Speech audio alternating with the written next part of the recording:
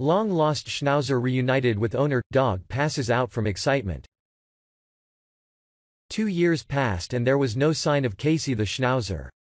The dog went missing and his frantic owner had just about given up hope on ever seeing her beloved dog again.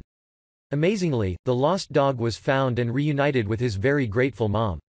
The Schnauzer was so overcome with emotion, that he appeared to pass out. During the time Casey went missing, his mom worked and lived in Slovenia. She came back to her hometown in Murrysville, Pennsylvania, where this joyful reunion occurred. The moment Rebecca and Casey saw each other, tears began to flow, the dog squealed with joy, and his mom could hardly control her emotions. As they cling to each other, you can feel the love and gratitude between them. Suddenly, Casey leans to the side and appears to pass out. Is it from the emotional reunion? Is he beside himself with glee? The perky pooch was simply full of exhilaration and it got the best of him. He was taken to a veterinarian. Checked him out, and said the dog is fine. Wags for a happy ending. Please share to pass on this story to a friend or family member.